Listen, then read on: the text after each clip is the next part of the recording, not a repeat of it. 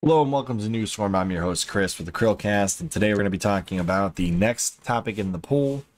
This is the 1245 show. This is the second show of the day for News Swarm.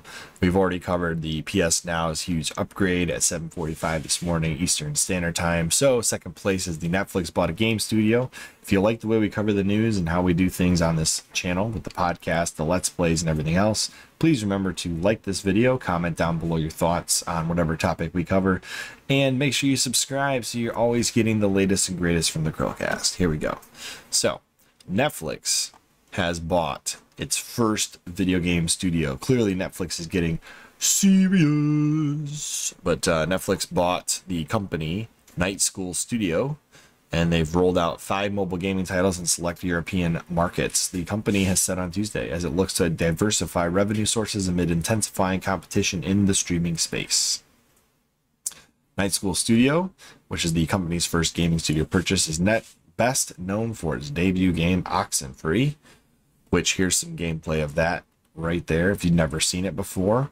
It's an interesting game to say the least. The full playthrough of this game is just under four hours, as seen on Game Overs, which is this uh, this uh, channel right here. So there you go. It's got some pretty uh, different art style.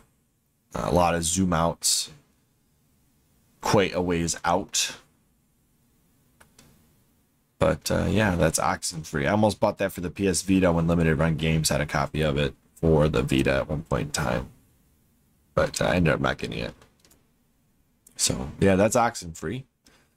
Uh, but of course, everything they've rolled out so far has been mobile gamer related, which is what we expected based on what we've talked about before with the Netflix of gaming, which is not actually the Netflix of gaming. But the company has said earlier in the day that it's introducing Stranger Things 1984, Stranger Things 3 the game, Card Blast, Teeter Up, and Shooting Hoops.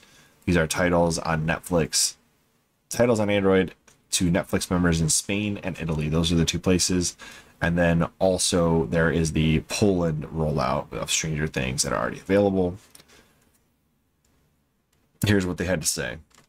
We view gaming as another new content category for us, similar to our expansion into original films, animation, and unscripted TV. We think the time is right to learn more about how our members value games. Now, my personal opinion on this is uh, Netflix diversifying the portfolio from a business standpoint makes sense, but I think they're going about this the wrong way because everybody thinks Netflix gaming means you're going to get game streaming over Netflix. And in reality, that's not what we're getting here. We're getting mobile games that you get for free with your Netflix subscription. I think that's the wrong way to go. I think Netflix would have been a much better option uh, going forward. Would have been buying like the Telltale Studios, uh, Telltale Studios, Telltale Games Studio, and creating more things like the Minecraft Story Mode, where you're essentially doing choose your own adventure Netflix uh, interactive movies, interactive games, interactive uh, TV series. And that would have been really neat because I think Telltale would have been the ultimate style of gaming that Netflix could have handled under their own business unit with story writing, with uh, the more simplified gameplay of the Telltale series. I just think that would have made more sense. I don't know. But uh, that's not what we're getting. What we're getting is uh, mobile games on Android only in European countries as a beta test. So, Netflix, personally, I think what you guys should have done is a choose your own adventure style Netflix thing, um, similar to the Telltale series or like Daedalus Games did with the Pillars of the Earth.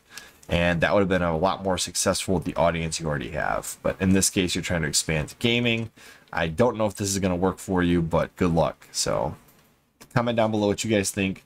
Do you think that Telltale would have been a better acquisition for Netflix? Um, do you think Netflix should even get into gaming? What are your thoughts on this? Um, do they sound more serious now that they've picked up their own gaming studio in that they've picked up Night School Studios, the company that created uh, Oxenfree? I personally, I, have said this before, I, I don't think Netflix should get into gaming, but if they were going to get into gaming, Telltale Games would have made the most sense given that they're kind of in the same line of work. But as always, comment your opinions down below, and I will see you on the next episode of News Swarm. Please consider subscribing and liking this video. And uh, as always, I will see you on the next one. Bye, guys.